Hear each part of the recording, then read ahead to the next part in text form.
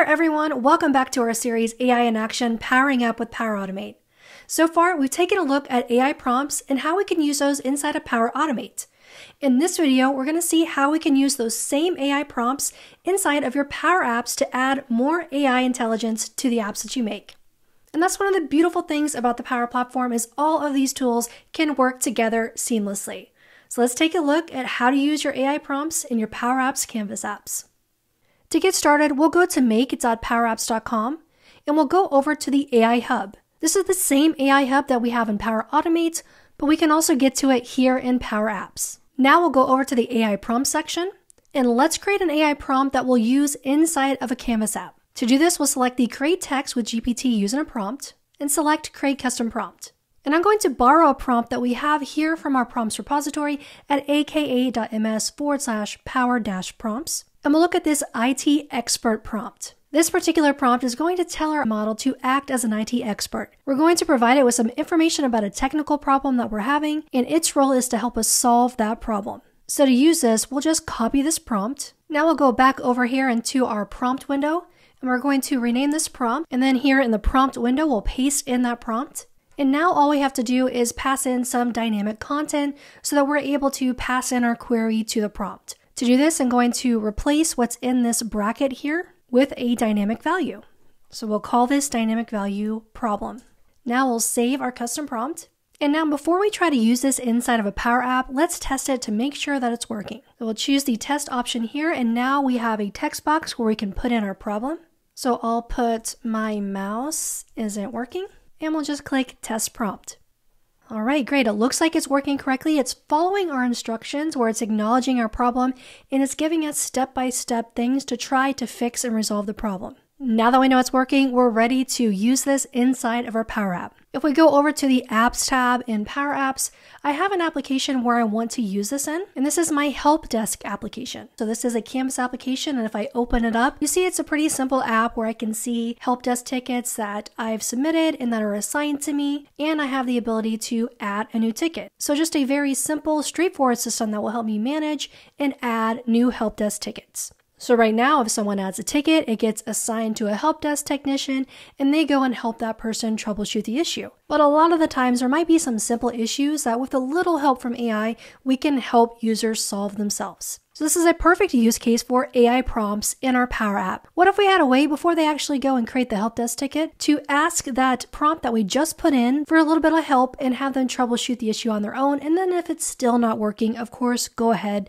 and submit that ticket. So that is what we're going to add to this application. So what I'll do is add a window here to the right hand side, which will have an AI recommendation. So let's configure the screen first to hold the information, and then we'll integrate the AI prompt. We're going to go over to Insert, and under the Layout section here, we'll add a container, and we'll just drag this over here to the right-hand side.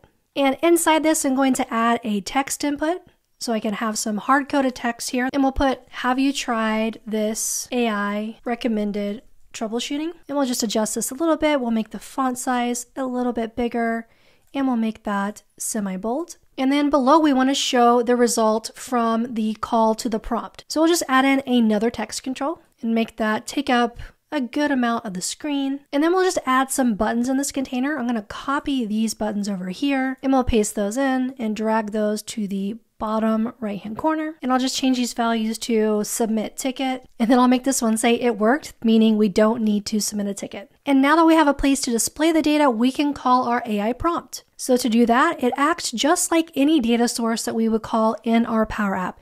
So we're going to go over here to the left hand side and we'll click this data cylinder icon to open up our data tab. Then we'll go to add data. And when we open up that add data, we see we have a section here for AI models. And if we expand this section out, we can see some of the AI Builder models, but if we click that See All option and scroll down a bit, we can also see our custom prompts. You'll see the text custom prompt underneath there on the subtitle. And there is our IT expert prompt that we created. So to use that, we would just select that. And as soon as we do that, you see that we do get this little yellow bar up here, just letting us know that AI generated content can have mistakes, so to make sure to check the accuracy. But now we have the power of this AI prompt in our application. So now what we can do to tie this all together is go to this save button when they would submit the ticket and go to its on select property. And rather than submitting it to a data source right away, we'll actually call that prompt. So to call the prompt, we just type in the name of the prompt, which is IT expert. So there it is right here in the IntelliSense. And then we can do a dot. So this gets all the properties for that prompt, which we only have one called predict. And now if we look at what's happening in the IntelliSense here, it's letting us know what inputs this particular prompt expects us to put in. Now, if you recall when we initially set that up, we put one dynamic value in there called problem, and that's what it's telling us that it expects us to put in in order to be able to call this particular prompt. So now we can simply point that to the description that the user is putting in here. So this is the name of this text input, which I'll copy and I'll go back to our save button and I'll put that and we'll do a dot text. And now that will pass that value into our prompt. Now right now that's going to call and pass in the value, but it's not going to give us what's returned. To do that, we need to put another dot right after this, and then we can get the text that's returned. Now we want to display this information in that text input. So what we're going to do is use something called a variable inside of Power Apps to be able to store this information locally so we can display it on that right hand side. So we're going to use something called a context variable with a function called update context. And we need to give this variable a name. So we're going to say AI help. We're going to do a colon. And then this is the value of that variable. And we're just going to close that out. And now we have called our AI model passed in the problem from a text input in our Power App. We've gotten the output of what that AI model is saying, and we put that in a variable so we can use. And now the last piece of the puzzle is to go to this text value and bind that to that variable we just set, which has the prompt outcome. So for this text object here, we'll just go to its text property and we'll point it to the name of that variable. And I believe we called that AI help. And then just before we test it, if we want to get really fancy, we can dynamically show or hide this section on the right so it only is displayed after they click that save button. So let's just add this last little piece in here. We'll go to the save button. And then after we call our model here, we'll do a semicolon and we'll add another variable with the update context function. And we'll call this show AI help.